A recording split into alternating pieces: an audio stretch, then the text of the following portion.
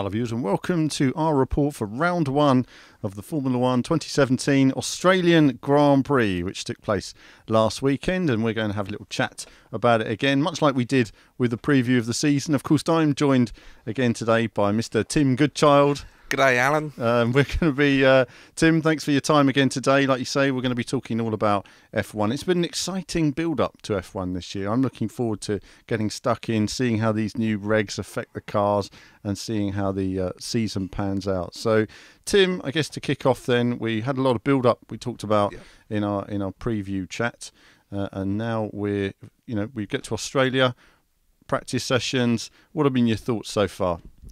Firstly, it was great to see Formula One return. Um, to be on television, Sky Sports uh, doing a, another sterling job uh, with their with their coverage and their lineup and it was just great to hear the, the sound of an F1 engine, whether mm. you like this new sound or not. well, it's no longer new anymore, is it really? This is now the fourth year of the, the hybrid they're engine. They're getting incrementally louder. They are getting incrementally louder, I've noticed every and season. It's, but it's not a bad sound. It's just not the V8 scream no. or the V10 scream, is it? So no. we we have still put up with it, and even in the news this week, we have until 20 21. 2021. Yeah. Uh, the suspected new engines, what they were going to be. Hmm. Verstappen mm. in the week saying that he wants the return of the V10. Well, I yeah, because he, he he grew up to his dad driving V10s. Exactly. You know, I, I remember going to the Grand Prix and seeing the V10s, but they. I don't get me wrong; they were loud. It was actually more pleasant to watch the V8s. I felt racing round the V10s when you had two or three cars I literally felt like my ears were bleeding. They were that loud. It was almost uncomfortable. Yeah. I remember going to see them, and, and it was a physical sound. It wasn't. It was beyond loud. It literally echoed through your body. Uh, but either way, there was a, a sound of classic Formula One then, uh, and like you say, let's let's see what Liberty do to bring that to bring that back again. You know. But that's four years away. Yeah. We're in 2017. It was yep. round one in Australia, and in, in in short, it was actually really great to see Ferrari back on the pace, and potentially we've got an exciting year ahead. Yeah, I mean, it was great to see you know Ferrari on the pace and testing, carrying that through to uh, to uh, Melbourne in terms of you know overall speed, competing there for the sessions. We had obviously the Mercedes out there quickest, but you know, Ferrari was sandbagging a lot. You know, they really didn't want to show how much speed they had there, and, and they were almost disappointed when they weren't topping the timesheets at first. So uh, it was, and it, it, seems that this car has been built around Vettel. He seems extremely comfortable in it, especially compared to Kimi Raikkonen. Even though Kimi put in the fastest lap at Barcelona just a few weeks earlier, so he sort of went one way or the other in practice sessions. Uh, you know, they, it was more a case of cars gradually building up their speed, and you know, I think everyone was being quite careful, uh, despite the fact, that obviously, Lance Stroll uh, went off into a wall and damaged his car. That was a bit unlucky for him. It was a very similar incident to what happened to Daniel Ricciardo. Uh, that, that, sometimes when the back end steps out a bit, fortunately for him, it happened right beside a wall. Uh, so that really sort of affected his weekend. Yeah. And of course, uh, you know, in the practice, you, you also had uh, uh, Pascal Wehrlein unable to make the the race as well. So, you know, that was that was quite interesting. What do you think of that, Tim? So it was disappointing to see Wehrlein uh, pull out of the weekend following his uh, Race of Champions injury, which is still going on. But we did see uh, the was it the Ferrari Academy driver uh, Giovinazzi coming into the into the team for the weekend instead, and a great performance that he put in. Amazing. Yeah. Um, but people have, have already commented saying he should be given a race drive for the remainder of the year. Completely disagree with that. It's Wehrlein's drive. He had a race injury, and let's not forget Wehrlein's not a bad driver. Um, a, a first race debut and a cracking debut by Giovinazzi, but it was just one race, and he's put himself down on the map saying he deserves to be in Formula One. So you could say, you could argue that if uh, Marcus Ericsson or Pascal Wehrlein mess it up or have a bad run through 2017, you could see a very quick replacement mm. go in Well, Martin Brundle is always one of those people that he comes from an era where you'd crash your car, you'd be neither here nor there, then you'd run back, jump in another car, frankly. Uh, and, you know, I think there's even a, uh, there was even a, a, quote or something, some sort of Johnny Herbert quote going around. I haven't verified, but you know about a driver not being up to it. Hold my beer, basically. You know, if you straight in there. But I can't imagine him saying that, um, and you, you just think. I don't know. You have to be risk. You know, the reason why drivers don't want to let other drivers in there is precisely because of what happened. So we'll have to see. It is the health and safety that, that, brigade, though. health it, and safety, and if you didn't feel up to it, on the one hand, you know, you always have to say you're right that drivers shouldn't do it. Having said that, you know, this is these this is top end motorsport, and you know, uh, I think the reason he gave didn't feel like he couldn't drive the car. It was that he he didn't feel that he'd be able to maximise its potential, which was different to feeling whether he could drive it or not. In that sense, he probably should have got behind the wheel and more experience. But either way, uh, he'll be back in China and uh, he's he's certainly going to have to, uh, you know, demonstrate his his speed against his versus his teammate. Like, like you say, it's got to be Marcus mm, Ericsson. has to. Got to be. It's it's. We'll have to see. We'll have to see. It's going to be interesting. They've they've actually made an interesting battle out of this now. So, so the back of the grid team. yeah, but a, a fantastic performance there. Uh, you know, as a stand-in driver to come in. Uh, what was it? Practice three, one practice session, no no testing hardly straight into quali, beating your teammate and doing really well in the race. Yeah. Uh, in a car that is using last year's engine. You know, uh, what more can you say? Good job, chap. Absolutely, absolutely. In contrast, uh, another rookie on the grid, Lance Stroll, hmm. not such a good weekend. No, I mean, he he he seems he still seems a bit out of out of his depth to an extent, and you know it took him a long time to build up the pace. His pace was a long way behind Felipe Massa. Uh, he had that accident, which to an extent was unlucky. It was the first time he was really pushing in that car, and he wasn't able to maximise his own potential. But certainly for Williams, for one Williams to be at the front end of the grid and the other Williams to be at the back of the grid, it, it was a disappointing first weekend for him. He's under some pressure this year. I mean, there's quite a lot of people have been quite vocal that they don't feel that you know they feel he's a pay driver, uh, and he's he's got to set out to prove people wrong. He hasn't done that yet, but there's a long way to go in this season. I mean, he made the first corner quite interesting with his massive lockup into turn one, but it's a great way to ruin a set of tyres, and you find yourself in the pits at the end of the first lap. It's it's not going to be, you know, you don't win a race on the first corner. Um, it's it, it is a Grand Prix for it's an it's an endurance, really, isn't mm. it? So yeah, I mean, it's all about like you say, uh, experience, and he. Like you say, he doesn't have that experience. I mean, they are new, faster cars, colder tyres, perhaps than he's used to going to turn one. Perhaps they cooled more than he expected. But these are all things that he's got to learn very quickly, and he needs to be on that within the next few races. So we'll see. He's under some pressure, uh, but we'll we'll see how he he uh, how he grows from that. So let's go on to the race Sunday morning great to be up nice early. and early.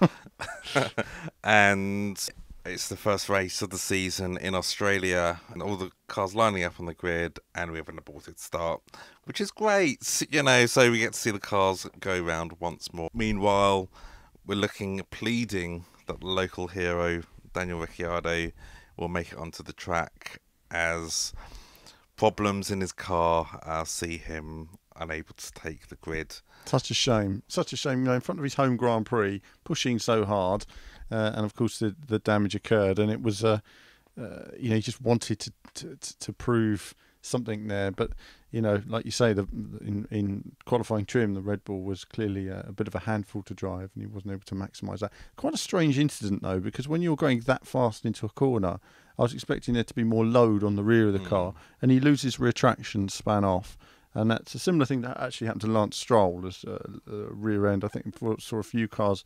Uh, what was a similar accident as well was Jolyon Palmer, uh, a similar accident during the weekend as well. So they were all accidents in medium to high speed sort of uh, circumstances.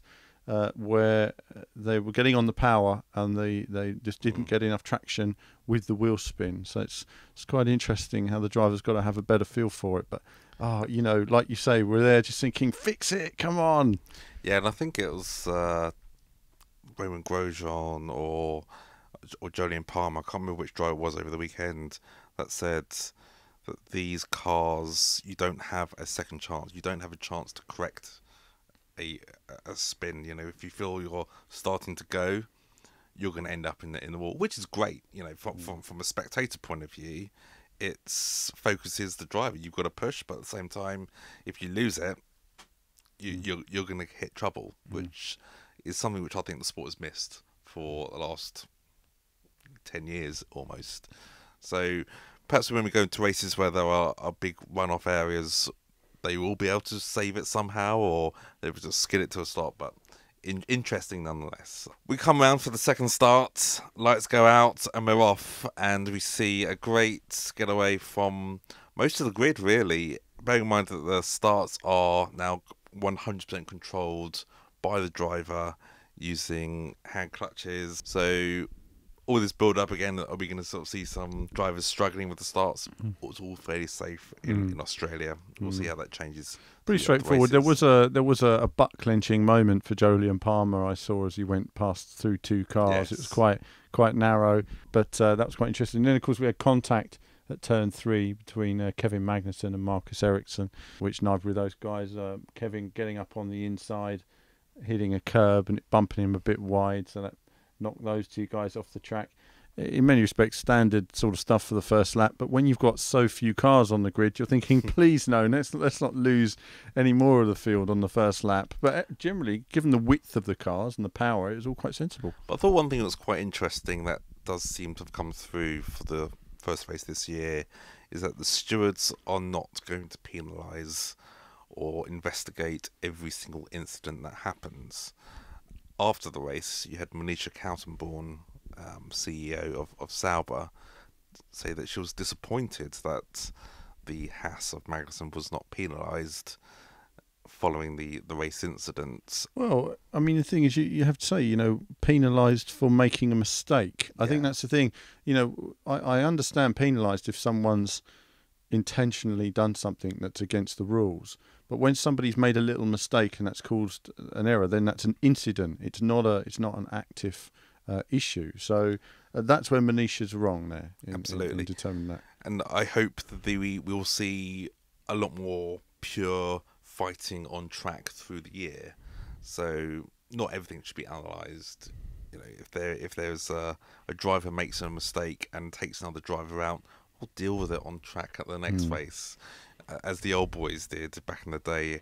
Ayrton Senna and Alain Prost, you know, they sorted it out on the track. We want Yeah, to more more that. common sense needed. I think that's what we want. You know, we want guys to go for it. We want guys to race and not always have a fear. And if they make a mistake, then you know things come of it. But it, it's you know we need to have the racing back again without without that getting in the way. So I am glad they didn't do anything about that. Yeah. So first lap, uh, we have the Ferrari squeezing in between the two Mercs as as they were on the grid, and Lewis Hamilton leading away with a very closely fought behind Sebastian Vettel, keeping him honest through the opening stint. Yeah, I mean Vettel was really pushing Lewis. We heard Lewis on the radio sounding uh, not relaxed, shall we say? He, sounded under pressure. He said Uh, he was lacking grip right lack- from the off. Really. Right from it. Well, he was moaning about stuff all the time. He was lacking grip, and then he had loads of grip, and all the rest of it. It was a bit, a bit of mixed messages coming from all the different drivers actually. But there was a couple of things Lewis mentioned. I can't remember the exact things now. But there's a couple of occasions where he mentioned things. But uh, yeah, he he went into the pit first, uh, and then that basically gave Vettel a, an open track to race onto. Or we we did see the development of the the term the overcut. Hmm. I've never heard of this before. It was hmm. always the undercuts. always All the of a sudden, we've now got the overcut. Yeah, I, I mean, I don't understand. I mean, they, you know, this was a vital part of the race, and Lewis went into the pits and came out behind Max, whom he was never really going to have a chance of overtaking. They could see that before he went into the pits. Uh, Vettel wouldn't have got past Lewis because it was so hard to overtake anyway. So he might as well stayed out there until till the gap was there. When Lewis pitted, he was a lot quick, quicker Mm. on the new tyres than Vettel. Had Max not been in the way, Lewis would have easily dominated the race. So I do think that to an extent, though Vettel was strong uh, and was you know still looking like the faster overall in terms of ultimate race distance. I think with track position, Lewis gave that track position away there. Uh, he must have been pretty frustrated about that at the time. And even Christian Horner after the race said that Sebastian Vettel should go and buy Max Verstappen a beer uh, because he probably wouldn't have won the race otherwise. Absolutely not. No. So that was the I mean that was the key thing of the whole race essentially was that was that one move. I mean I know that there's been some criticism over it not being lots of overtaking there, but it's I mean, Australia. It's Australia. I mean uh, you know there's less cars on the grid. There weren't as many pit stops, and they count pit stop overtakes as well. There's only one instead of two pit stops. Uh, no safety cars. That's quite unusual for Australia. So uh, you know that was that was sort of the key key move of the race then. And then after that, really, it was uh, uh, we had Kimi who had fallen off the pace some way back. Surprising Kimi's pace this weekend. It it sort of yo-yoed. We had uh, Bottas, of course, who had a difficult first stint, fell a bit behind with Kimi, but then really came back as the race progressed. And in fact, I actually thought towards the end of the race he was the faster of the two Mercedes. Yeah. You know, it's quite quite possible the team told him to hold back there because uh, he didn't seem terribly pleased on the podium. No. Uh, so but I mean, that was the sort of main action really in the race. Uh, was the sort of front battle. We saw Fernando Alonso uh, going around there doing his own thing. Actually, do you know, tenth place Fernando was in. Doing his bit, I thought fantastic. While his teammate, I think, had an off at some point, was had an oil problem, and uh, you know, uh, it, it, was nice to see him still doing it so but there was, well. There was a wonderful best part of a lap of you know three cars. I think it was Alonso with it, was, it must have been Hulkenberg yeah. and there was Ocon in, yeah. in the Force India. Yeah. A very colourful mm. few corners with the orange, yellow, and the pink. Yeah. Um, but it was great to see Alonso battling with with with those guys. Um, really close, honest, great battling, and it was actually Alonso that said after the race that it was one of his best races of his life. Really? Yeah. You know, quite crazy to think that, but I think it's going back to the fact that the cars are much more enjoyable for the drivers mm. to to race in, and it was close, honest battling. And, and quite frankly, if you're if you're a racing driver, yeah, sure, they all want to be fighting for wins and podiums, but if you're in a tight battle with with close competitors around you, let's be honest, it, that's that's what the real that's what gets the adrenaline going, doesn't it? Well, I think if you told Fernando just a few weeks ago that he'd be battling for tenth place, he'd yeah. have he'd have taken that with both hands. So. Uh, it was, you know, it's a shame ultimately that you know the, the car had some technical issues as well again. at the end again, uh, but yeah, we, we, when we get to the next race preview, we'll, we'll moan more about that. So we'll move on Tim. So in the closing stages of the race, I mean, it says there were limited overtaking, but that's what you expect around Australia. The the battles to the grid seem to be fairly settled, and we came to the last few laps, we are kind of hoping that there would be a, a, a fight to the end between Hamilton and and Vettel, but I think that's going to be saved for a later a later race. They will come we see uh, Vettel come home to take take the flag. I think it's an emotional journey. I think that, that Vettel's been on. I mean, they, a winless 2016. Uh, last time they won was back in 2015, and it's a great. It's, it's I think it's good. It's a healthy result for Formula One. Last three years of domination by Mercedes. Mm. We come to the first race of the year after qualifying, I think we all thought, oh, God, here we go again. It's going to be another Mercedes yeah. year. But Mercedes lost. Oh, clear and simple. That yeah. they, they were the slower yeah. Team of the weekend. Yeah, I mean, well, I mean, certainly, I, I mean, I, I, uh, I actually feel that they could have won that race comfortably. I feel they made a, a strategic errors essentially, and that Ferrari you know, took the open door. Vettel was really confident in that car. He looked really solid. Uh, he, he looked like someone who was definitely going to go for it. He was going to go for an overtake somewhere on Yep. Lewis, and he'd have pushed them hard this weekend. Lewis didn't seem to have the legs on him at the end. He did seem to be out of grip. He did seem to be out of sorts, and I think that it was interesting to see just how close Valtteri was to Lewis at the end of the race, and I could tell there was a fire in him to, to beat Lewis, and, and that's really great to see. So he's not, you know, yes, Lewis has had a Finnish teammate before in Heikki Kovalainen many years ago. yeah. This is a completely different teammate now who's uh, not going to be affected psychologically. You know, they said, oh, it's going to start affecting him when he's competing for the championship, winning races. It isn't going to affect him. He's just going to be solid and he's just going to be pushing. So certainly the competition is there. It's good to see that Ferrari either way on the pace. I, th- I think that the disappointing team of the weekend has to be Red Bull. Uh, we always expect a bit more, but then Red Bull have never been great around that circuit. It's never been their circuit, uh, and uh, you know, And even back in the uh, Vettel Championship years, they always seem to have a much better second half of the season. mm, Out of the out of the park, you know, they've never, they've never been particularly strong from from race one. So, no, and I, I don't think they are out of it this season. I think they can come good, but they've got to. yeah. I mean, they've got these sort of away races and the power circuits that they're- going to struggle on. So it's making the best of a you know bad situation. Once it gets to more twisty circuits, and you know, uh, this, this is Adrian Newey. Adrian Newey makes the best cars in the world. He will work on that downforce and get it tuned just right. You may even see a car that's got quite a lot of changes on once they appear in China. Yeah. Uh, but yeah, again, they'll be struggling because they'll be using low downforce to try and maximise their speed. But it'll be interesting to see what you know, advancements he can make to the car, and especially aware of the fact that seeing you know, Daniels spin off like that, that there might be some way in which the downforce sort of cuts off a bit too harshly at the Yeah. rear. So it's it's always a balance between downforce and drag, and they're always trying to find that balance. But yeah, they were disappointing this weekend. You got obviously Williams, who were you know done well with Felipe to an extent, but Felipe, I thought, did very well.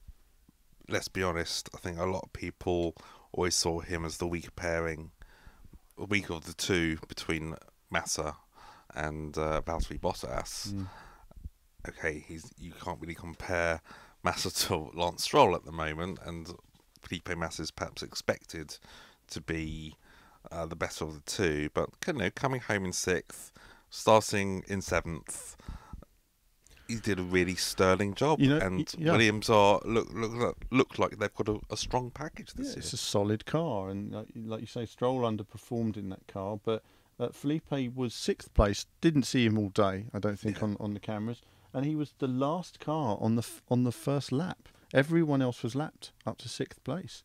Yeah. So the field spread is still very high, but there were obviously a number of DNFs. And I might be incorrect here, so, but uh, as far as I could see at the time, vast number of them were engine-related DNFs. So there is still a lot to work on there. Yep. Everyone's hoping those power units last. I tell you, uh, I can see that this season quite a few teams are going to struggle in those last few races. Going to have to take care of those power units. Yeah, because we, we only had five power units last year because they creeped across into 21. 21 races. Well, and uh, where we really noticed it was in the practice sessions. They didn't want to come out for half the session. It's Mm. like, well, there's no point in running because we, you know, so there is a, a feeling that perhaps they should have a separate power unit just for the practice sessions, uh, so that they can Yeah. actually come out for the, or maybe even a separate qualifying engine as well, so they can really go for it. Uh, whereas some teams might say, you know, we're just going to conserve the engine. I mean, a bit of a digression on on on subject here, but I did roll my eyes in the last week when you had uh, Jean Todt, president of the FIA, you know, admit the most common sense or the most obvious statements that came out from his office. It's almost like he's just woken up to the world by saying Formula One's a little bit too reliable. It's been far too reliable for for 10, 12 years. You know, ever since it's been this push saying we need to have cars that must last X many races or gearboxes that must last X many races. Well, these guys aren't stupid. You know, the manufacturers and all the all the engineers in Formula One, they know how to make a durable uh, part, a piece of technology that will last a long period of time. Back in the day, you had them making parts that would last 200 miles. So you're going to get a much more high rate of you know, unreliability if you're only developing cars to last a short amount of time. So it's going to be a hard sell, I think, in a, in a world where we're trying to save money and uh, reduce the cost in Formula One to say, hey, we need to make the cars less reliable. Well, obviously, I mean, things are were made by hand. Of course, there was always that. Now yeah. it's all computers and True. machines, so you're going to get that level of perfection. But what they need to do is, I mean, besides obviously other stuff to do the racing, I, you know, I, I was disappointed they removed refueling. I, mm. I thought the refueling affected the car weight so much in terms of balance at certain times of the race that you you, brought in additional strategy, and then when you took that out, well, you only had the tires. So I, I think refueling is something because refueling would force cars to stop two or three times when today they may only stop once yep. for one pit stop. And it brought in all kinds of issues. You know, there was all kinds of issues like Massa driving away and ripping the tube off. And I, I know it adds a bit of extra danger, but that's what it's all about in motor racing to an extent. You know, you they need to bring in more room for error in various different ways. And and like you said, you know, we've spoken about it in the past, even reducing the amount of mechanics per wheel to slow down the pit stops. Uh, you know, you only have two mechanics on each wheel. I would love you know, to see something that. like that. Just a reduction. Not even that. I, would like to see just one, one, mechanic on one wheel. well, wheel. one mechanic on each wheel. I think yeah. would be even better because it would take it from a two-second pit stop to a twenty-second or a thirty-second. Uh, and then they could work with the balance of the tires and yeah. you know have refueling everything. I mean, else. seeing a car come in and go within 2.2 seconds does absolutely nothing for me. You know, you've seen it once, great. You know, it is a wonderful almost like a you know, wonderful acrobatic act, really, seeing 17, 18 people change, you know, four tyres and whatever else they need to do on the car in such a short period of time, the blink of an eye.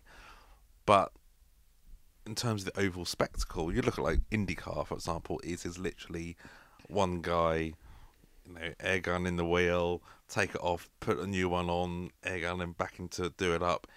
That looks more, much more interesting, and I think you see, let's say, you see a mm. lot of disparity between each team if you had a, a yeah. much juiced pit, pit crew. Yeah, let's wait and see. Liberty, I mean, Ross Ross Brawn's going to say yeah. his things. So, no, for the Grand Prix, then overall, uh, I mean, just looking back at it, and we've we've spun off on a few different things here, haven't we? But you know, there's lots to talk about in that sense.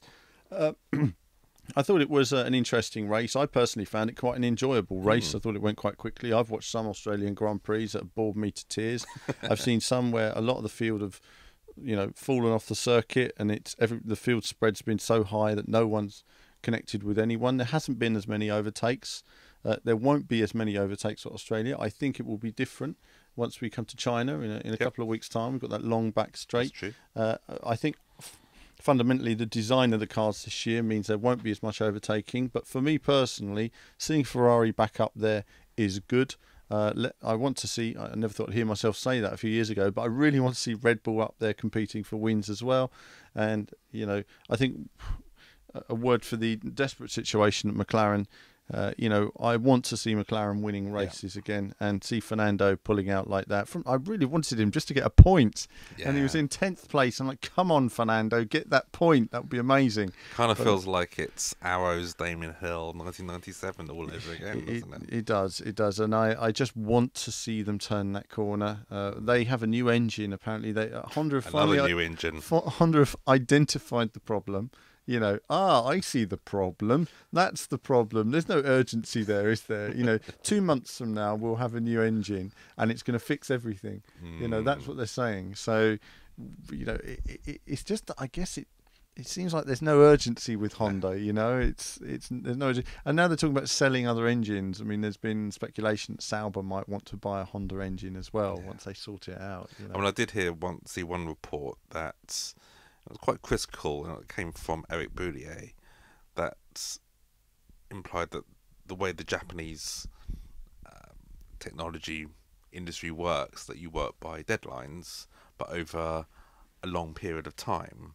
Whereas in Formula One, there never really is a deadline. It's it's just constant development. You know, you don't you don't sort of target to deliver something by, you know, November, and then sort of wait until that point. It's like, well, fine. Well, we're going to do this by you know week two of February, then week two of March. You know, Mm. the constant development, and that you, you just don't seem to be I, getting. th- I think what it is is that sometimes they uh, different things require different aspects of the company to come together that they've not experienced in say the biking quite the same way and I think that shows the pace of development and the cost of development and from a logistical perspective there's a lot of organizational stuff they might be able to make changes on a bike much quicker in terms of weight and balance than when they make changes on the F1 car you know mm-hmm. such as having a fuel tank the wrong shape you know I just don't know how you even come to that in modern Formula One. You know, what what are you thinking? So there's a lot going on with them, and I think Fernando's patience has worn thin.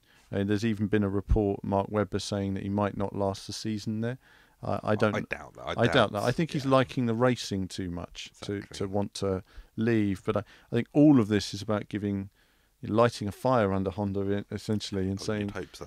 yeah, that let's hope they make the difference. Let's hope, let's hope they make a difference. We'll we'll, we'll, we'll Well, so, complain know, about them. If if we can have four great teams, you Mm. know, Ferrari, uh, McLaren, Mercedes, and Red Bull, you know, fighting for you know all the points, podiums, race in, race out. That's a good championship. Then you always then hope that Williams will be there to Hmm. to to do it as well. But let's be honest, you know, you've still we've still got Force India who Hmm. did finish fourth in the championship last year, and they deserve their place to be there as well.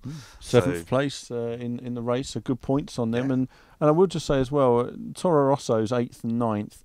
They had a, a poor practice. Um, sorry, uh, build up in terms of testing. Mm. But uh, we said great looking car, but it wasn't that quick. But it turned out to be really solid. Both cars in the top ten in qualifying. Yeah. Both cars in the top ten at the end of the race. Good drivers, good points. Uh, Carlos beating Daniel. Um, Mhm. Good. Uh, so uh, so we'll see. No bias at all. no bias. No, I just I rate I just rate Carlos more than I do Daniel. So it's good to see uh, uh, him getting that. And like you say, I would like to see Carlos in a in a, in a better team. Totally. So, driver of the weekend or top performer of the of the weekend. One thing I'll just remember is, of course, Esteban Ocon uh, getting tenth place on his debut as well. Good, course. amazing uh, to see him get points, uh, beating Nico Hulkenberg in the Renault, which looked good from time to time uh, in, in in sort of practice sessions, but never really got it all together. So. Yeah.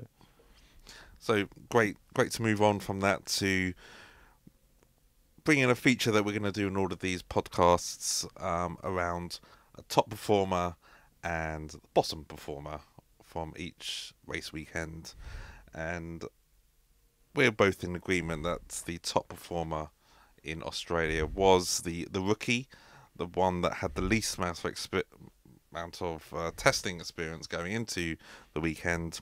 Antonio Giovinazzi, uh, the Ferrari Academy driver, drafted in as a replacement for Pascal Wehrlein at, at, at very short notice. Great performance. Really cannot fault his his overall delivery through the weekend. Uh, qualified well and raced well. Very very solid first race in, in Formula One. excellent performance. I mean, qualifying was wow. This is amazing. When he qualified, everyone was expecting him to be three seconds behind his Yeah. teammate. Uh, race 12th, 12th place finish. It's a shame he didn't get a point. He deserved a point for that run. But either way, he's put him on the map. And you know, if I was Sauber, I'd be saying, "Ooh, I really want to see this guy do another, or do a full race weekend and see what he can do." Uh, so he's, people are talking about him. That Yeah. was a good result for him. So yeah. On the other side, though, we have to talk about the worst performer of the weekend, and it is the person that qualified 20th and he retired in the race, and that is the new Williams driver, Lance Stroll. Really disappointing. Uh, he had good prep going into the weekend, and he just wasn't there all weekend, and he made some sloppy error, errors that just not not expected really. No, no. I think I think it showed his I mean, yes, you could say you know Jolyon Palmer didn't have a great weekend, but he was a bit unlucky. He had some technical problems with the car. Uh, he had the same problem with the rear end stepping out as as Daniel, but uh, you know then of course he didn't have a setup on the car, so it wasn't a great weekend for Jolyon. But in terms of Lance Stroll, uh, his speed on track was never that great. Not throughout the whole weekend. There was never there was never a time when he was close to his teammate and he made a couple of mistakes in the race. It, it he sort of watched him and said, "Oh, it's like first day at a new job." Uh, he's he's got a lot to learn very quickly, but yeah. uh, you know I think these next few races, he's like you say, he's definitely under pressure. But a, a disappointing. It's not like he was magic in the car, and you're like, "Wow, this guy's going to win championships." There was none of that. But I, I always like being proved wrong. So let's yeah. let's see how he evolves. Absolutely. Great. So you know, a great first first weekend of Formula One in 2017. This weekend, we look forward to the Chinese Grand Prix in Shanghai, uh, a, a, a Hermann Tilke circuit, which is not bad circuit from from his his his array of, of circuits that have been developed over the years. It can it can create some good racing, and I you know I'd, I'd say a team that we haven't talked much about is just is just Haas uh, team because I I just, Romain again we, we haven't mentioned him because he's again another DNF, but they were doing very well, very strongly uh, throughout the weekend. It'd be interesting to see how they and some of the other teams perform. We've got this long straight at China. It's a power circuit in that way, and we're going to see lots of overtaking down there. We're, we're going to see the true power of the Mercedes versus the Ferrari. I think the Renault engine teams are really going to struggle. Uh, there's already the talk that McLaren are really, really, really going to struggle down that straight. Uh, so they might be with everybody when they get to that corner, and then suddenly they're not with everybody anymore. So I think Fernando's going to have quite a lonely day, and that, I mean that's even if the car can even finish the race. I mean there's there's a lot of talk that the car again just won't finish the race again. So tricky one for them, but this will be interesting. I, you know, if you said to me who's going to win uh, the Chinese Grand Prix, I couldn't tell you right now because it is easier to overtake there down that straight. Uh, and and there is some people feeling that the Ferrari power unit could it be as uh, you know a total match for Mercedes. So I think a challenging and exciting weekend is in store. I agree. I would put good money on that qualifying will go Mercedes way. And I think uh, Hamilton is going to rack up the pole positions this this season. Uh, I mean, in Australia, he got his 62nd pole position of his career. Uh, he's three away from Senna, on six away from on Michael. So I expect that record to be uh, achieved or probably smashed uh, yeah. this year. Um, in the race, I agree with Alan. I couldn't couldn't couldn't put a a driver uh, that's standing out out from, from just from just one race so far we we will see. But I think it's going to be a good a good battle, and I hope it's a good battle, and I hope it's a close battle between uh, the, the Mercedes and Ferrari drivers. Um, I expect, I do expect the winner to be either Vettel or Hamilton. Yeah, it's got, Well, it's going to be one of the. I mean, it's it's pr- pretty clear between them. I, I I'm just in, I'm just really interested to see how Bottas comes on again in this race. Mm it's going to be easier to overtake here. So it'll be interesting to see if his pace, he's learned a lot in that first race and he can carry that through to the second race. I think also the disparity between Vettel and Kimi Raikkonen in terms of pace uh, was quite high in the last yep. race, and I'm interested to see if Kimi can get it get it sorted out. Kimi's one of those drivers we've talked about it. Needs a car set up in a certain way to maximise his performance and perhaps the car has been designed around Sebastian yeah. at the moment, so might take him some time to get into it. But either way, close between those first four, and then the rest of the field, it would just be interesting to see how the field spread works out. I always always enjoyed the opening races to the F1 season because you there's always that you just don't quite know what's going to mm. happen. So, and I expect to see that in in Shanghai, and I expect to see that again in Bahrain uh, in next race, and then we won't really know until we get into the European season, um, until we know what the, the real pattern is, and everyone will bring big updates for that race as well. So it's always the exciting of the, of the openings, opening races of, of an F1 season, and uh, I think this year has started off well. I'm looking forward to this week's Grand Prix. Brilliant, Tim. Well, thanks for your time today. And that's it for now, viewers. Uh, if you are interested in getting involved with us uh, doing Formula One, we're always looking for sort of new writers to help us out. And uh, those of you who are into Formula One want to join us on this podcast, uh, do do let us know. Contact us from the Contact Us form on the website. Uh, it'd be great to get more of you involved in what we're doing here. Uh, who knows where it can go? But uh, thanks for listening today. Of course, we'll be doing another podcast and improving upon this. Let us know what you would like to hear and some of the discussions you'd like to hear in the future podcasts as well. Uh, and hopefully, eventually, one day, I'll get them on iTunes, and we are going to sort that out as well. But, uh, but that's it from me for now, viewers and Tim, and there'll be more from us very soon. Oh.